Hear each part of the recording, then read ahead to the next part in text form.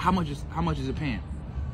It's about exposure. I can't pay my rent on no exposure, Glenn. Glenn, I've been taking care of you.